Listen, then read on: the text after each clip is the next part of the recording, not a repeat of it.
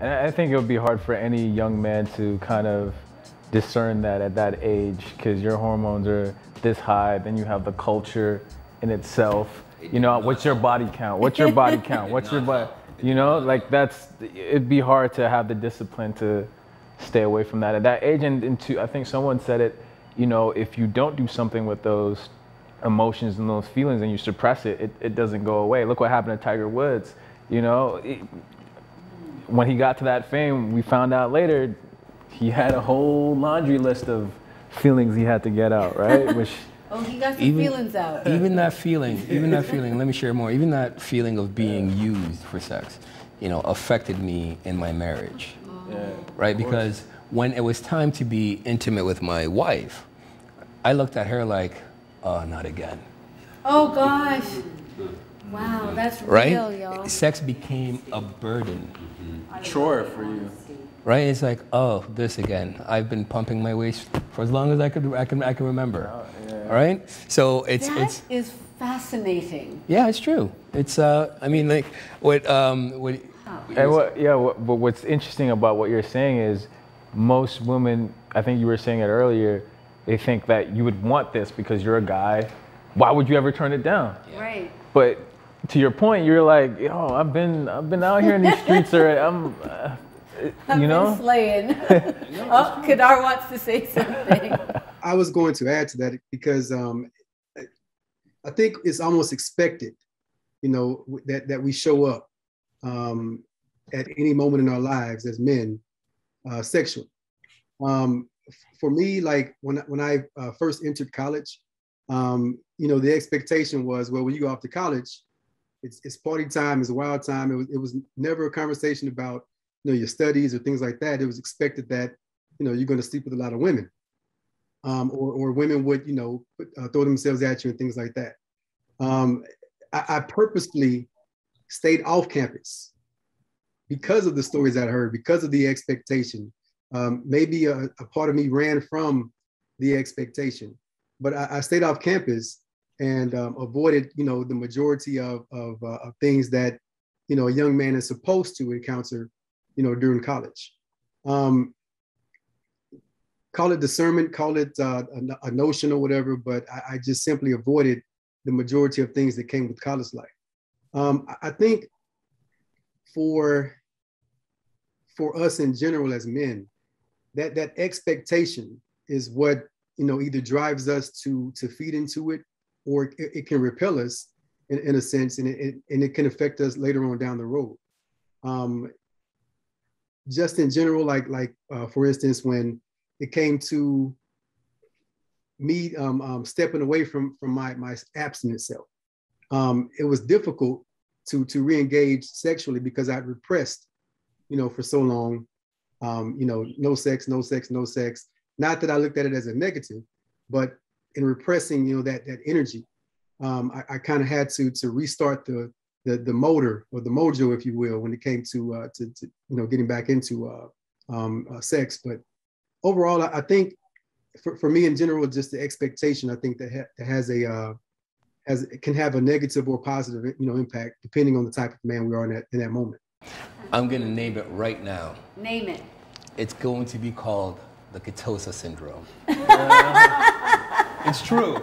Let's call it the Ketosa syndrome. It's true, right? Because and, and, and there is an arrogance on the part of our queens, uh, on, on the part of our queens as well, right? Mm-hmm. Because for you, the effect of rejection leads mm. to insult, denigration, demeaning, and everything else.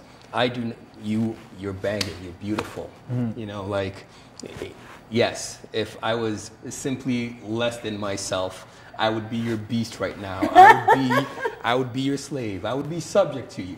I mm-hmm. would give you my energy. Mm-hmm. But no, I don't want you Oh, I don't right? want to. I don't have any sovereignty in that decision making. They don't. They do not accord me the power to say no mm-hmm. in that situation. So I don't know. Maybe one day we can do a second show on this. Well, you do have your sovereignties, whether or not you exercise it. And there's just a belief, there's a learned helplessness that makes you think that you have to do something. So once we are able to tease that apart, then you can operate in your. I think what he's what he's trying to say, or at least my interpretation is, you know, cause and effect. There's there's a cause to exercising that level of discipline. Like I remember uh, having in a conversation, and then the person came off to me and said, "You're, you're such like a white guy," right? Because it because it was different from the, the, the, certain levels of discipline were different from the brothers that they're used to being around. Yeah. That you, you, know what I mean? So what, what, I think you're trying to say is there's a certain reaction that comes with that yeah. that to our own sisters in the community, not saying all. They call uh, you homosexual.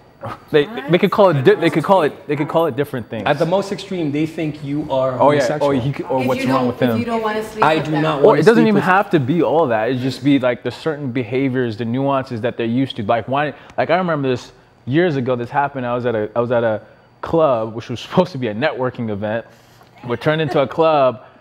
I met this young lady and you know started dancing and she's like, "Why haven't you grabbed my ass yet?" I'm like, "Wow." Well, but if you did without consent, you could be having another conversation but, but at a police station. But but right? I'm just saying this is, and then and, and in today's world, that would be referred to as BDE. You know, you you didn't have the confidence, or you weren't confident, so you didn't do that. But then it's like at the same time, if I did it, I you know, me too, and all this. So anyway, um, even in those moments, like I can remember, you know, dating a, a young woman, and um, it was expected from her that I, you know, tried to to to put myself onto her within the first week. And and you know, to Rocco's point, when I didn't, the first thing that came out of her mouth was, "Damn, are, are you gay or something? Like, what what's going on?" And I'm like, well, I'm, I'm trying to get to know you. You know, that was my response, of course. But um, it, it's it's I don't know in, in if it's you know today's society or whatever, but uh, something is feeding that expectation that um, you know we're supposed to be overly aggressive, overly, you know, stimulated and, and just ready to go at all moments? Um, there's, there's two things, and I don't know whether if, if I've heard enough. There's two things. Um, I think Kadar spoke about as men kind of just showing up. But if we're a lot, if we're under a lot of stress and depressed, we can show up and nothing happens. Right. so when we feel that we are the black man, we should live up to this stereotype, and we show up and nothing happens, that adds further to the shame because we we can't. As one guy said to me, Delroy, I couldn't even get an erection. Um, the, the other thing that I will say, in terms of in the privacy of the counselling room, I guess you have the same thing in Canada. Um, friends with benefits, and I I heard a lot of this, you know, with because I worked at a university for 20 years as a student counsellor. So as, as you rightly said, um, many guys go to, for go to university for the degree and, and as much sex as possible, and not necessarily in that order. Right. so that's what my female um, colleagues told me. But one of the things I started to ask women in particular, and then men, friends with benefits, and you know, explain that to me. I knew what it was. And I then a question occurred to me one day, and I said to women, "Are you happy with that?" And guess what their response was? No. Hmm. Wow. No. So I said, well, what do you mean? I want something more. So I think there's an expectation, but if you get past the layers, hmm. they actually want more than they want commitment, they want security, even at 18, 19, or 20. Delroy, but it's the trap. It's the trap because they will they're telling you they're telling you no professionally they're telling you no professionally, but they're agreeing to it personally with the hope that they will rope you in once they have you. I think on that, I will beg to differ, only that in the privacy of the room, quite often people are more honest then in the room than they are out with their friends because they, they're in a place, hopefully, which is safe and secure and they can be themselves. So you could be right. You know, you could be right. But I think now it's interesting. The conversation is about men and hypersexuality. But then as I'm listening more, I'm thinking, what on earth are women going through? Thank you.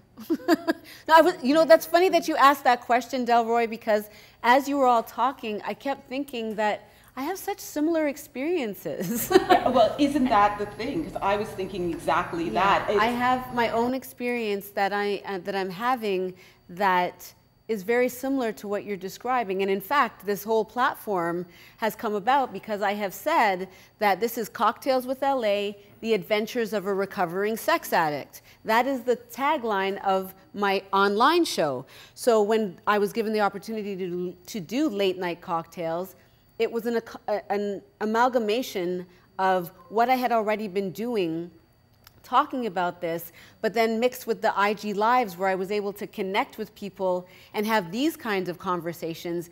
And I'm seeing how much sex plays into my experience and my, and my, dis, um, my misexperience with black men. Um, and how many, how many ripples and layers it goes out to. However, when we start to talk together, it becomes the oppression Olympics. You know, I want to give space to what black men are dealing with, but I'm going through the exact same thing, but because I'm gendered in a different way than you, it has a different um, expectation, it has a different flavoring. Um, but we don't know how to have those conversations together. And, um, and I, I, don't, I don't know how to hold, and I think it happens in our family dynamics as well when we have family feuds and arguments. It's because they don't know how to break down um, putting their, their pain on hold in order to hold space for yours and then it be reciprocated.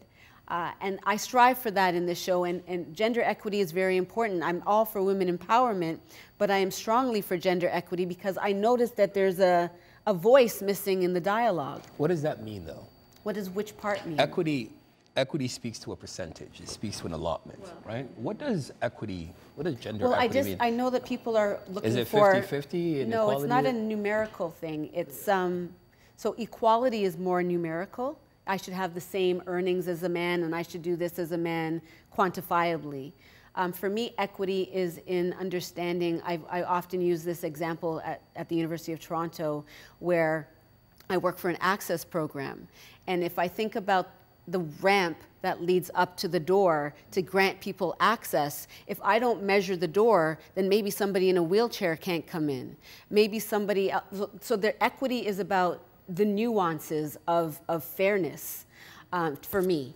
And that's how I show up with it in terms of how I want to interact with people is can we create an empathy for one another instead of standing in a space of opposites? Is there, is there no claim on outcome? In term in equity? I mean, it seems to me. Claim means that it, it, feels very competitive, and I just feel like there should be a collaboration since we're both being subjugated. So we're both being subjugated, um, but there's different terms because the way that they manipulate men, from my observation, is different to how they've they've done it to me and it has caused a dissonance in how I can relate to you and how you can then relate to me. And then it goes around in a circle as if to say that there's no way to stop it and start over. But that's not true, there is.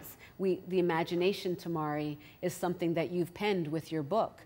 And um, so, from that perspective, there's an imagination, something that we can aspire to in terms of holding space for something that they don't understand. Because it's a learning as well from the people that are now learning with you that this has been happening to you.